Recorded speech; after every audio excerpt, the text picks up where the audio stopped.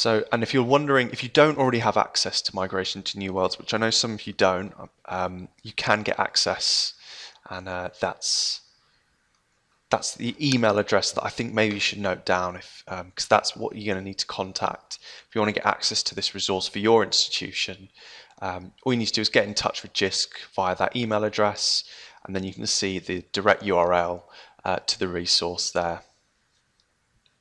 So I'll just leave that up if anyone wants to screen capture it or, or note down that email address. Anyways, that's a, that's enough housekeeping. We're going to get into the actual resource itself now. I should also mention that um, there are two of us here today. So, so I'm Alex. I'm one of the product specialists here.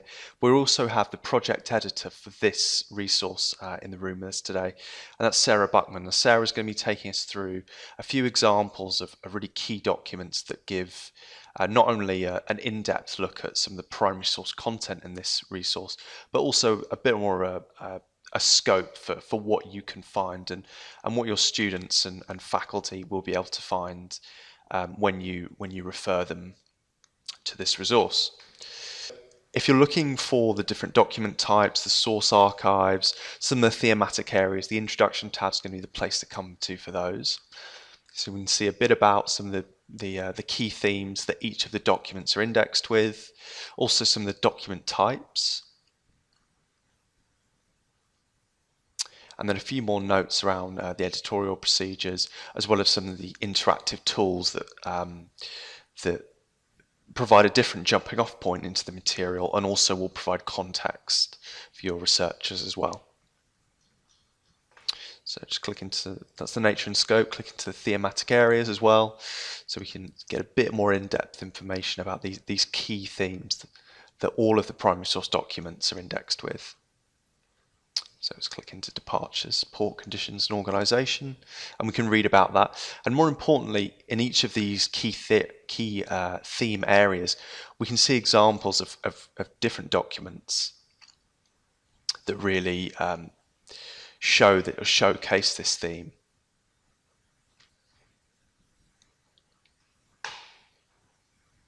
Okay, so I'm just going to click the banner at the top here just to head back to the home page.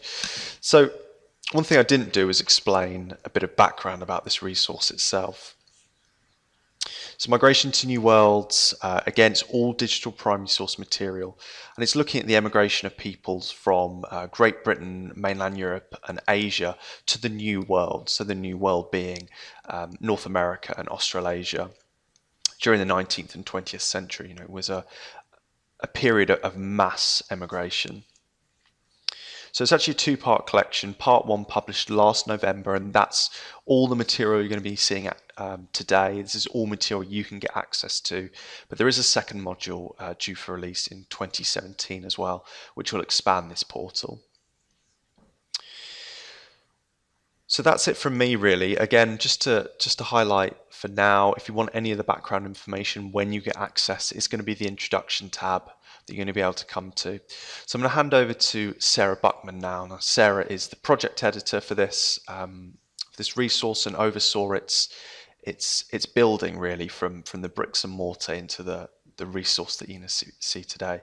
So give us a few seconds to hand over and uh, Sarah's going to take you through a few key documents just to give you a bit of back, a bit of an idea to, to the types of material uh, that you can find in this resource. Okay, so bear with us. Thank you very much, Alex. Good afternoon to everybody.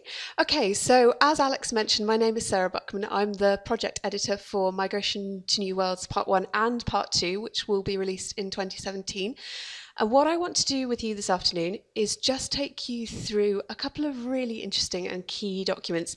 Um, migration to New Worlds is vast, so obviously I can't cover everything, and that would take far too long, but I can at least give you some really, really interesting starting points that you can show students and faculty. So if we go up to the Documents tab up here, um, the first document that I want us to look at is um, an oath of allegiance sent to the English Crown, signed by Belgian Walloons hoping to emigrate to Virginia. It's the oldest document that we've um, digitised for migration from 1621. So if we just go up to the themes and just filter it by motives and emigration.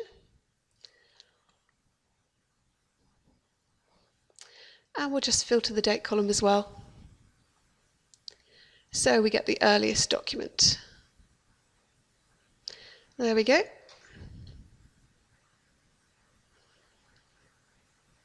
So this document is really key. Um, it's come from the National Archives um, at Kew, and it is one of the earliest round robin documents in the world. So, as I said, it requested permission from the English ambassador to The Hague for a group of um, Walloons, so Huguenot uh, Protestants, to emigrate to Virginia to found a Protestant colony to escape Catholic Belgium. So, as we can see from here, their names were signed in a circle, and that was deliberate. So, if this petition fell into the wrong hands, um, nobody could be identified as the ringleaders. Obviously, we can zoom in here and have a look at it. So, what actually happened with this is the British said, oh, okay, yes, we can send you um, out to Virginia, but you have to split up. So they weren't happy with this, and they did end up going on their own um, as part of the Dutch East India Company. And although their original colony failed, they did end up around the area of New York and founding sort of the first settlements around New York. So for studies of emigration, this is really a key document as a as a key starting point, really. Okay, so I'm going to move to something a lot later now. So we're going to filter this list by Liverpool Record Office and just apply. And filter it by D. So we're going to jump down the list a little bit.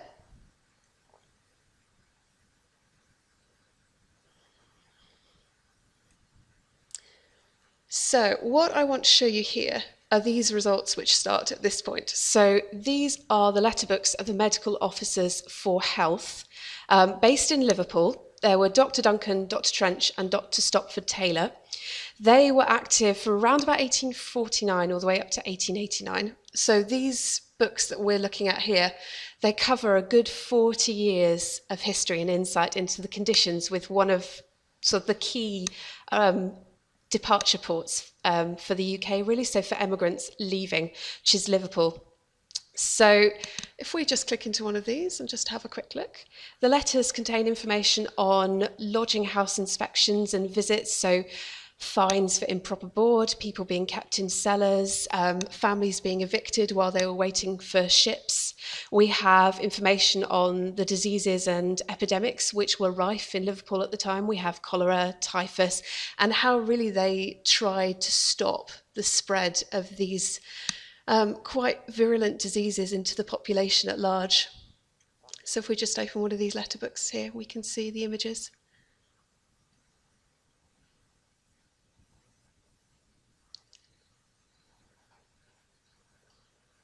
There we go. So you can actually read through their original letters and the transcripts of their original reports, and it really is an absolutely fascinating insight into the way that an emigrant port functioned and the way that governments tried to just keep keep track of emigrants really and how they were faring and progressing and the injustices that were sort of that happened to them really okay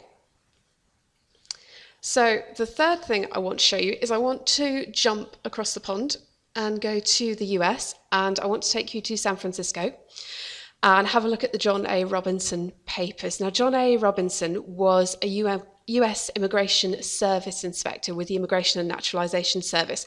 So he looked after the other end. So once the emigrants had arrived in America and into San Francisco, he would sort of police the emigrant communities. So I'm just going to do a quick search up here.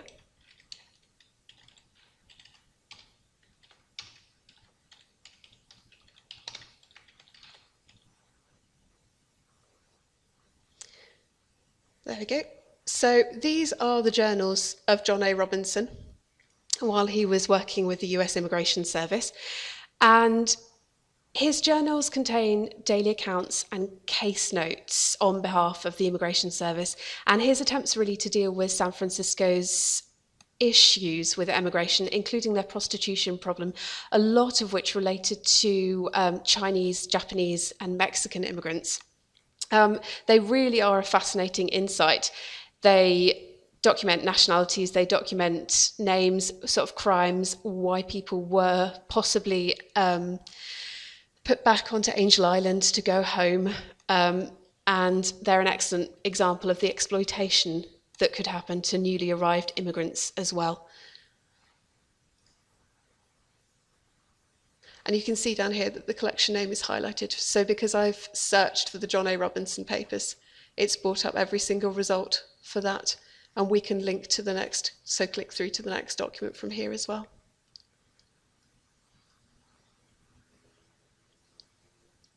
There we go.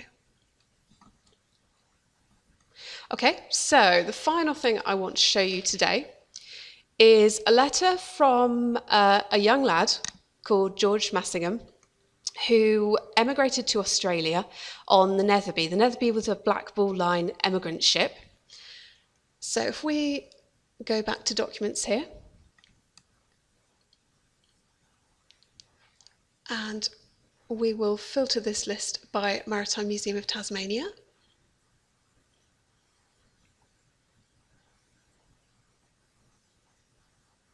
There we go.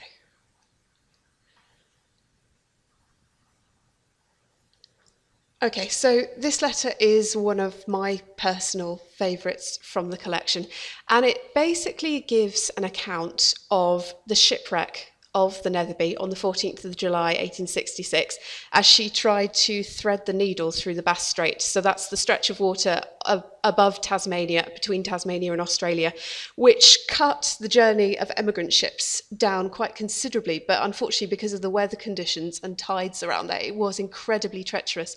And unfortunately, the Netherby got herself um, in a lot of trouble and was wrecked on King Island. And this letter basically describes how this happened and the hardship that the 452 government migrants on board uh, went through during their ordeal. It gives a very full and a very frank account. Um, it describes how the sailors saved the liquor before the food, which we always think is quite interesting. Um, everybody did manage to get aboard um, and onto King Island, so everybody was safely safely off although she she wrecked quite badly.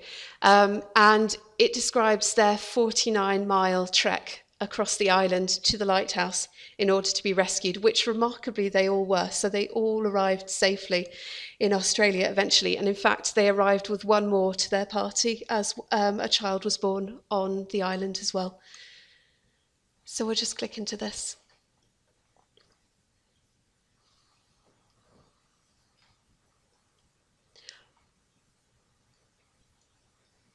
So you can have a look. This um, document has a transcript as well, which we can see by clicking here. And we can also put this up full screen as well for everybody to see.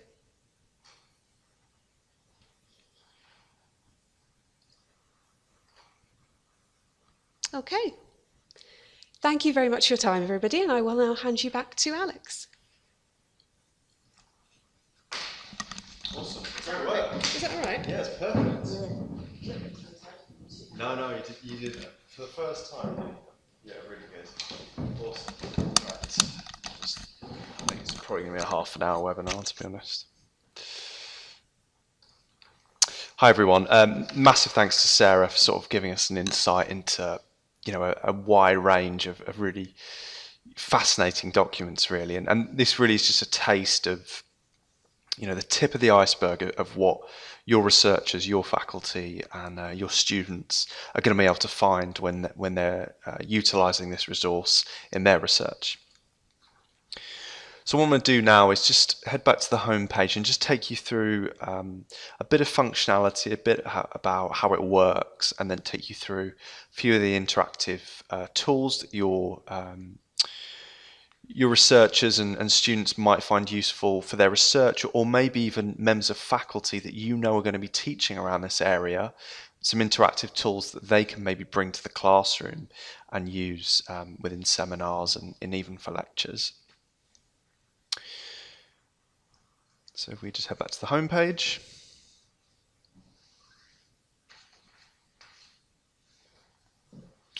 Okay, so Sarah's taken us a little bit around the browsing and the searching functionality already. Um, so I'm just going to just tie up a few uh, a few other pointers around that as well. So when we click into the documents um, button at the top here, we're going to get the full documents list. As Sarah has uh, shown already, we've got these sort of key filters at the top. Again, those key themes we saw right at the start.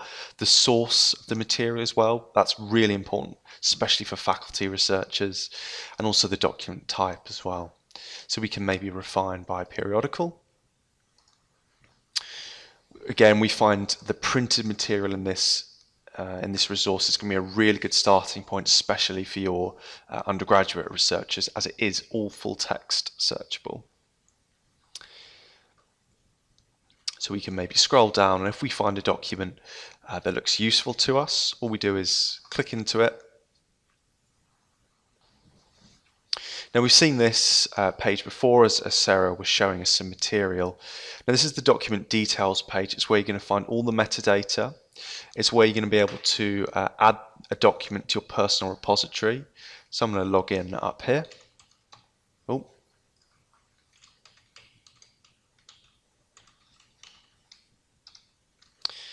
So you can sign up. Not happen there. You can sign up for a login completely free. Your details um, don't go anywhere; they remain within the resource. You'll get a, you'll get an email um, confirming your your sign up. And once you've signed up for this personal repository, um, you've signed up for all Adam Matthew resources.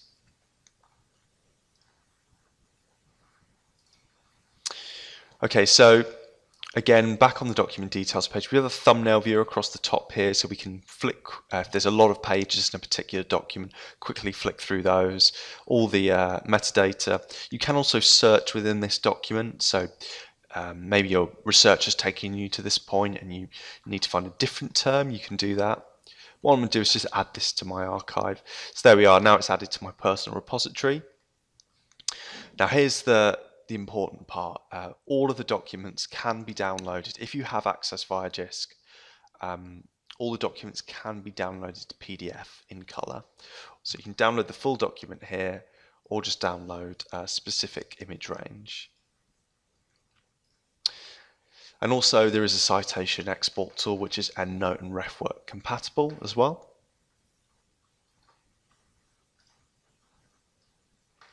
So let's click into one of the pages here.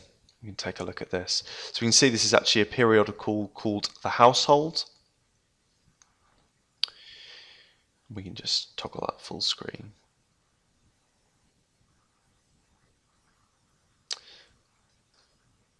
So especially for reading newspapers, um, transcribed or manuscript material that's uh, particularly uh, illegible or difficult to read, these full um, high resolution scans are going to be really uh, make it that much easier to to get into those difficult to read documents. Um, we don't do grainy microfilm here.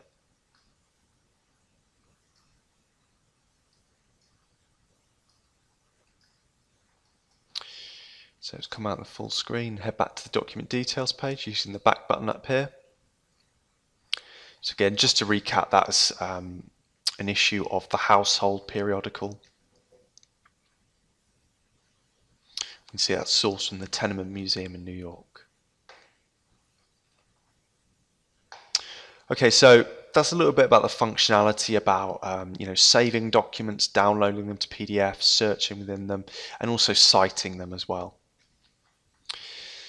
I should also show you the advanced search at the top. We've seen the basic search bar in the top right hand corner. There is also an advanced search where you can uh, use Boolean operators to link various terms. It's words uh, proximity and stemming, particularly useful for full text materials. You can also refine by date range as well. And also some of those filters that we saw uh, within the main documents list as well. So I'm going to run a search for um, Lower East Side. Um, not going to do any uh, refining here as such. Just before I run this search for Lower East Side, we can see our previous searches uh, on the right hand side here and also popular searches and these popular searches are based on the indexing done by our editorial team uh, rather than other researchers. So I'm going to run this search.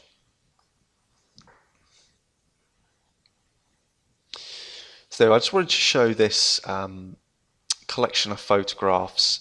So we, have seen a lot of material, particularly from the 19th century uh, and earlier, actually, from from Sarah's perspective, looking at, um, I suppose, the the motives for people uh, immigrating, um, the, the actual journeys and the conditions when they arrive. But there's also, there's also a lot of early 20th century material in this resource looking at um, settlements or people settling in, in the New World, in the east coast of the United States and Australasia.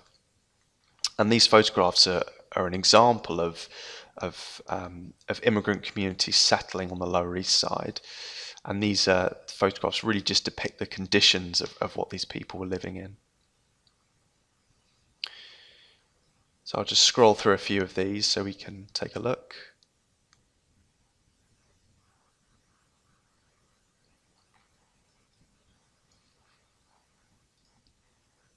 And again, if we want to download this to PDF, we download up here. If we want to add it to our personal repository, we use this button here.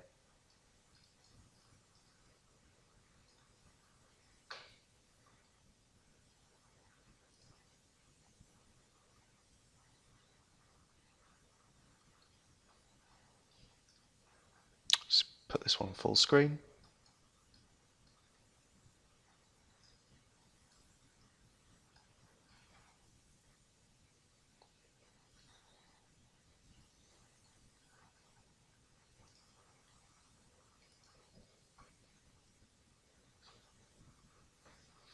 I should also say when you're browsing um, you know collections of photos or, or, a document that has a lot of pages, you can just flick between between an original uh, image and also the thumbnails for the entire document as well.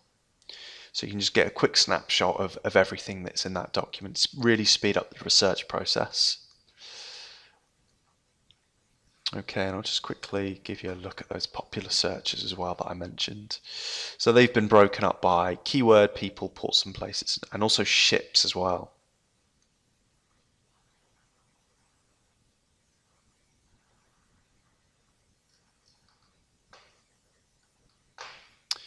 Okay, so I'm going to head back to the home page and we're going to take a look at some of those interactive features now. Just before we do that, just a quick reminder that if you have any questions, uh, please feel free to put them in uh, the chat window. I can see we've got a few questions there already.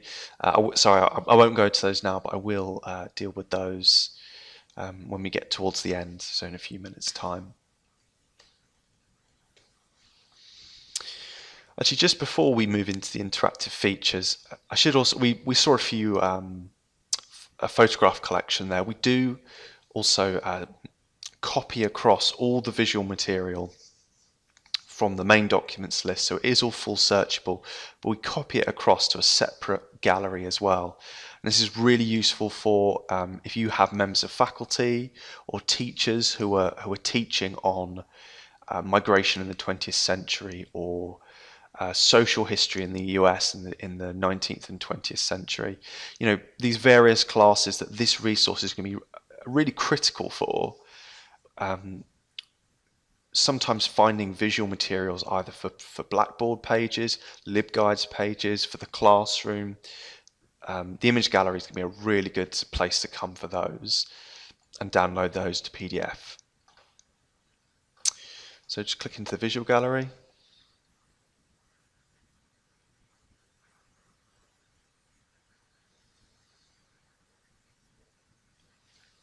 We can also refine the image gallery by um, document type as well. So maybe posters and postcards. See what posters and postcards we have. There we have a few.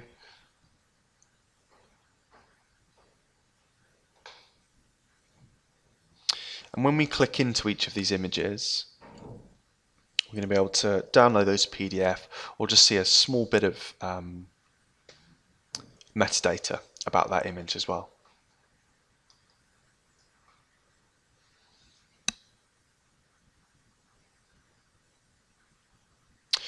So there we are. So let's move on to the interactive features now. So I'm going to do interactive features, talk a bit about how they're useful for not only uh, individual researchers, but uh, you know, teachers and faculty and you know, faculty in the classroom. And then we'll answer some questions at the end.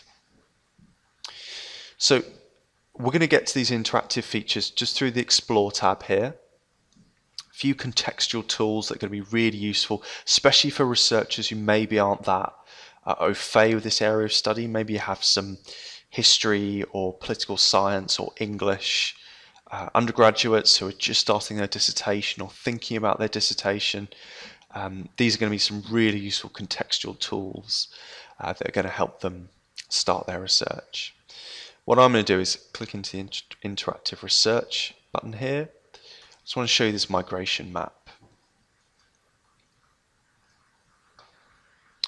Now this is an interactive tool that takes um, migration data from across the 19th and 20th century from various sources. So I'm just going to scroll down here to show you some of the data sources.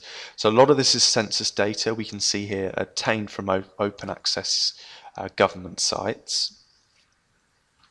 And what this tool really does is it plots migration data, trends, and analyzes the breakdown of, of those uh, these movements of migration from the old to the new world into a really easy to use uh, visualization tool, really. So what we can do is we can select a destination country at the top here. So let's maybe say USA. Now we can see here um, a map, obviously United States.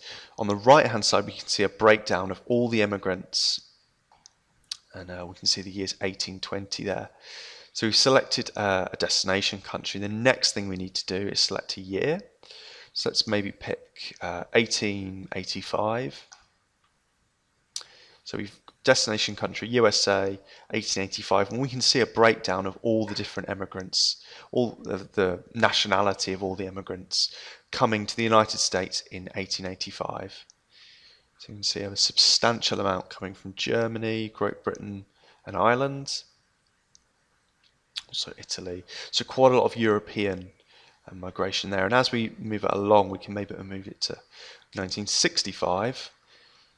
The demographic massively changes there. So we have a lot more coming from uh, the, the American continent, also South America, and uh, also Asia as well.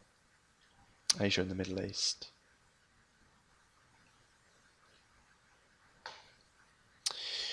So that is that's the full um, breakdown of, of immigrants you know, coming to a, a, destination country, but we can also input a source country as well.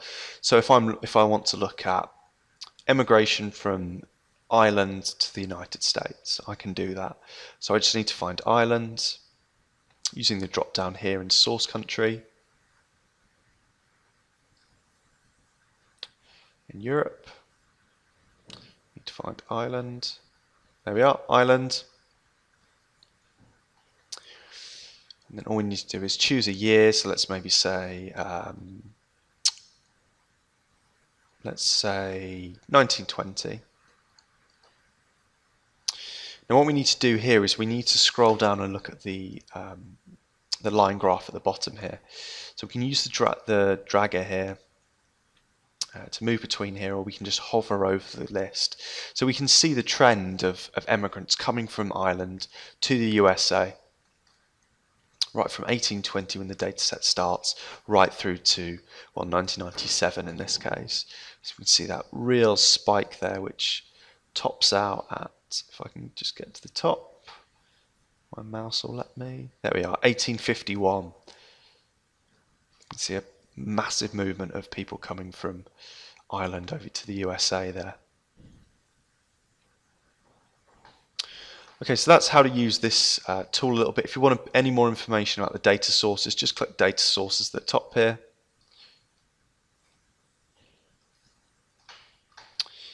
There we are. And I'll just quickly show you the Star of India um, ship plotting as well. So what we've done is we've tried to build, well, tried, we have built an interactive uh, map of the Star of India, which gives students uh, a feel for the ship itself and also um, an, an interactive photo tour around each of the decks. So you can see a bit of bio here.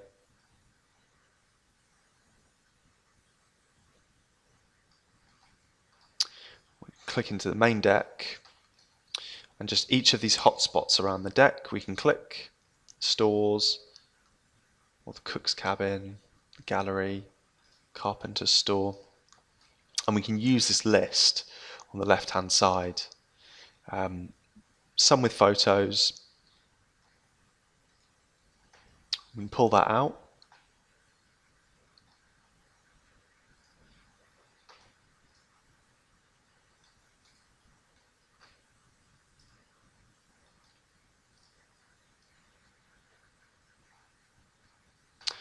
There we are. Again, really useful contextual tools, especially for students who um, maybe aren't that um, that well qualified in, in this, this area of study or, or, just starting out on a research exercise. Okay, so they're just a couple of examples. Um, as, as you well know now, you can get free access to this resource. So the best way to get to know these interactive tools and see whether they're applicable for maybe PhD students, master students, or, or even undergraduates who, who you know are, are, currently undertaking research in this area, um, really do encourage them to, to get their own access and see whether these tools uh, are useful uh, useful for them.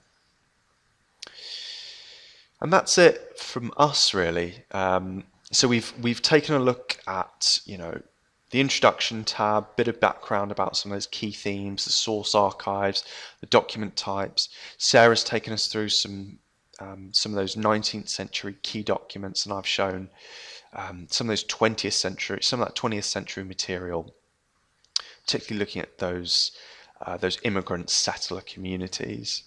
And then we've also looked at some of those, uh, some of the functionality, and lastly some of those interactive tools as well. So that's it from us. I'm going to just quickly move over to the question.